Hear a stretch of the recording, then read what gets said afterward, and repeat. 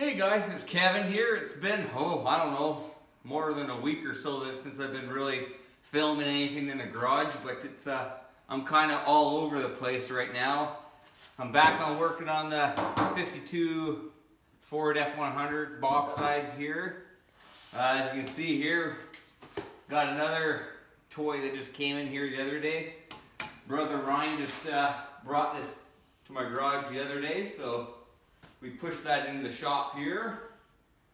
That's his project, but nonetheless, so uh, people have been asking how I uh, strip metal on that. I use these discs here with a disc grinder. Here, I'll show you a new one. Hold on one sec.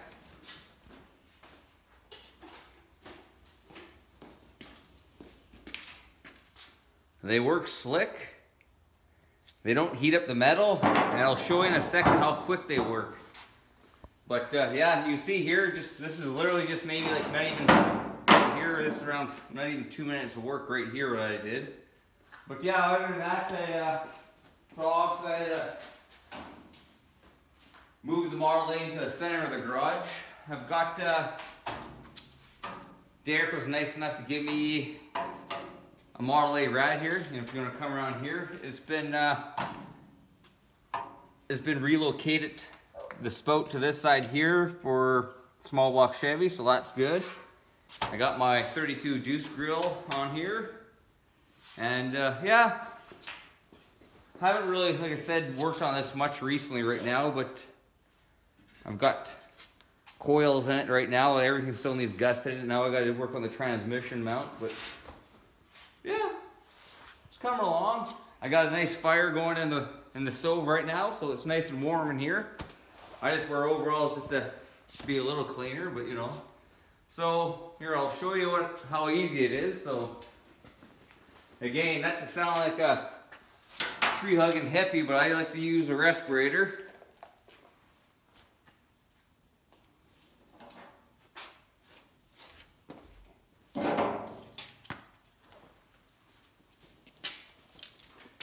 I won't have on, on the video here on YouTube, but when I have this, I usually have music blaring, and today is Iron Maiden. Doo -doo -doo oh, here we go.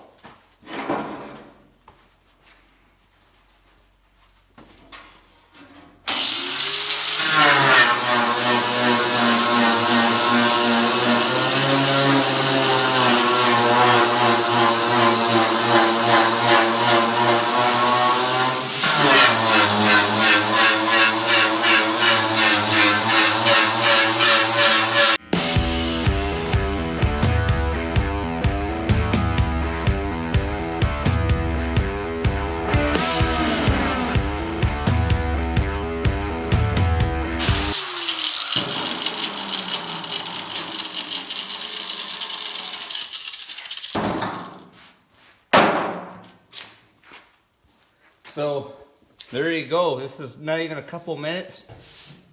It doesn't warp it, it doesn't heat it, as long as you work fast. It uh, does an awesome job. I highly recommend these.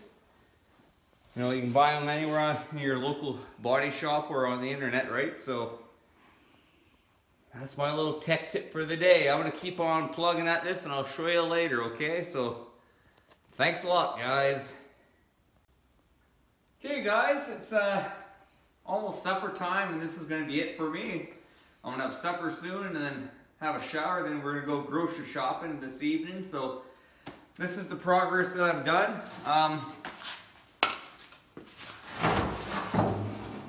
this side's all done. I still have to do like the, the corners and everything, right? But uh, again, that went pretty quick. That was, I don't know, half of a CD of Iron Maiden. Then, then I switched to Metallica, Justice for All.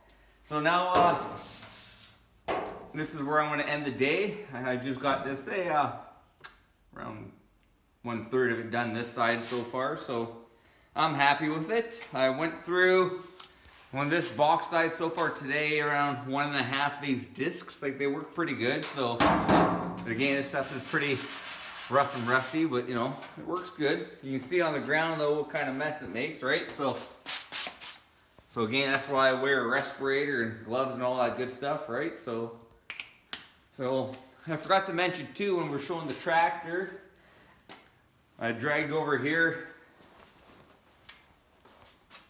This is a one and a half, two horse Waterloo. Well, actually, it's a contract engine. It's got a tag on it, T. Eaton's, since we're up here in Canada. It's on a Rock Island cart. I've got a nice original style Waterloo gas tank that's going to get plumbed on here. I've had this engine running, I think it was last last winter. Derek and I got it going. It just needs a little little tinkering to go with, but it's, it's not my rarest engine. It's not even close to being rare, but it's in my top five engines that I have. That's right, top five. Just because it's not rare doesn't mean it's, you know, but I like it. I bought it uh, in an auction row in Pierson, Manitoba, I would say around 10 years ago. I uh, remember that auction I probably bought, we took an 18 foot car trailer and I think I filled up at least half of the trailer full of engines. That's why I like to buy them. I like to buy bulk, so, but uh, yeah, so I'm just rambling off here, but nonetheless, this is the end of my day here. Like I said, supper and grocery time. Like I said, it's a nice warm garage today. Got the wood stove going. I got Casey on the camera. And uh, yeah, I'll see you next time. Again, stay safe, work safe. Have a good night, guys. Hey guys, it's Kevin. It's uh, Sunday morning. I'm here to get some parts off my parts truck. I uh, don't feel too bad cutting up this truck because this thing is rough and it's also given, given me a lot of good parts for my truck. So uh, today, if you're gonna come here, I uh, need to get some dash pieces today. So I'm kind of lazy today, so I'm just literally gonna cut everything out. Like I said, this cab is shot. It's uh, that's why I don't feel too bad cutting it up. We took all the good, a lot of the good parts off it, but this thing's literally toast, so I'm gonna start cutting some parts off. I forgot to break my bring my face shield today, so oh well.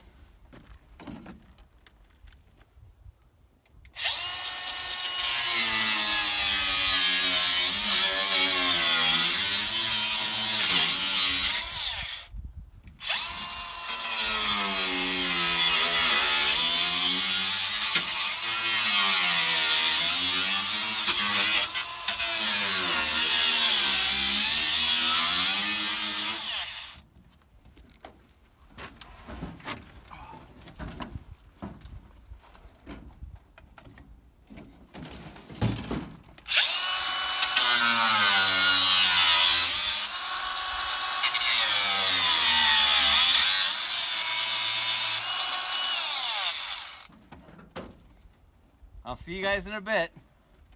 Hey guys, a couple minutes of uh, destroying this old Ford truck for getting some good parts is well worth it. As you can see, uh, I you know neatly unbolted the dashboard using the old disc grinder. So I got the parts that I needed.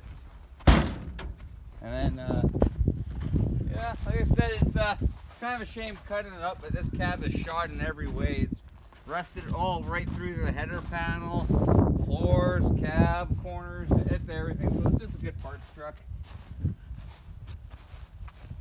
But uh, yeah, here's the parts that uh, Pam and I got off the truck here. I got all the dash here in the glove box and one door access panel. So it was worth it. It's a lot of a lot of parts I need to for my truck, so I don't feel too bad cutting it up. So. If you don't like it, piss on it. See you soon. Okay guys, it's Kevin. It's been oh, more than a couple days since I've worked in the garage, but uh, tonight I'm just cleaning up some more of my 52 Ford F100 stuff. So tonight I'm just cleaning the, uh, the rad cradle here. Um, I'm just using a wire wheel here on a disc grinder. Nothing special. the key is with these little, wear a face mask. So these little little needles will fly off occasionally, right? So it sucks to get hit with them. So I'm gonna start cleaning up here. I just started cleaning here. It cleans it up to the bare metal pretty good. This was just literally a couple couple seconds here. So, and this truck here, I'm not painting over rust. I know some people do it. It's it's not for me. And certain trucks like this is going to be a, a nice truck when it's all said and done. If, if I'm building a rat rod or something, it, you know, it would be okay. But not on this truck. So I'll see you soon.